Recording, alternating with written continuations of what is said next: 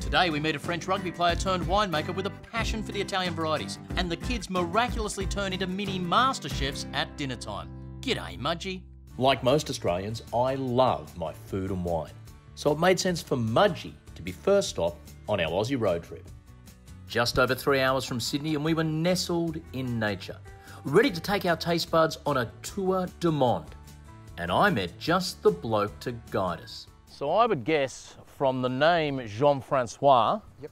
and from the accent that you weren't born in Mudgee. No, mate. I um, I usually say the joke that I'm from Townsville, but no one believes me. Um, I'm from Bordeaux in southwest France.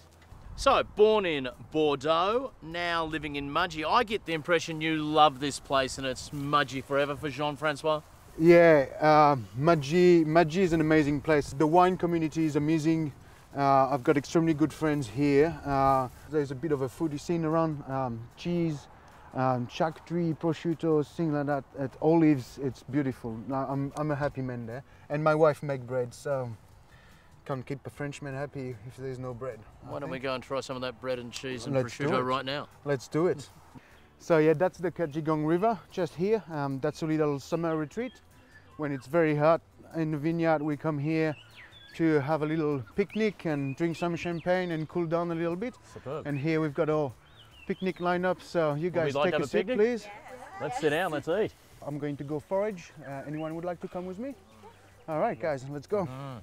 First stop into the road trip, and already we were surrounding ourselves in the beauty of the Aussie bush. Now, the kids did not want to get their feet wet, but it didn't matter. We had the services of a gorgeous Gallic Loch Ness monster named Jean Francois. Okay, we've got everything, guys. Ooh. So we can start making lunch. Fresh baguette, magisado, and some watercress freshly picked for garnish. That's grassland chicken, uh, smoked in uh, local cherry wood. So yeah, you can have a little smell of that. It's pretty, pretty good. Oh, I can smell it from All right.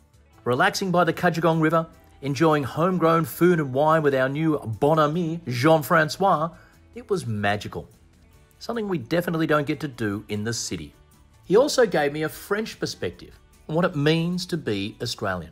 Australians are very supportive of each other, and, uh, and that's something that's very heartwarming. When in time of need, and we've seen it in the past few years between the droughts and bushfires and all of that, the, the Aussie spirits of turning around and say, "Let's support my countrymen." Uh, it's it's a beautiful thing. I don't think I noticed that anywhere else really. So I'd stumbled onto two of my great loves here in Mudgee homegrown food and Australian red wine. Ah, if only there was a chance to play a game of chess. You're kidding me. Ellie, you're up.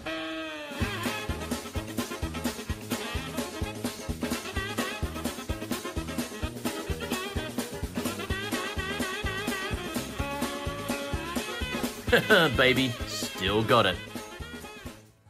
From lockdowns to homeschooling, we've seen more of each other this year than any year I can remember. But I think this road trip's going to remind us just how important quality time is. As the sun sets on our first day on the road, I'm drawn to the irony of how we can't get the kids to help cook at home. But on holiday, they turn into mini Maggie Beers and Luke Mangans. The beauty of our road trip is embracing spontaneity. We've made friends for life with a fine Frenchman, Jean Francois. We've sat by a river we never knew existed. We're creating memories together on this trip that we'll talk about for years to come. And that's what it's all about. Next stop, the World Game. Some talented 10 year olds show me I'm living in the past, and I talk the FIFA Women's World Cup with a legendary voice of Australian sport. I love an Aussie road trip. If you're loving the Aussie spirit that we've encountered on this road trip, well, it doesn't get much better than Australia's best talent uniting for the annual Australia Day broadcast. Catch it on your ABC, 26 January, 7:30 p.m.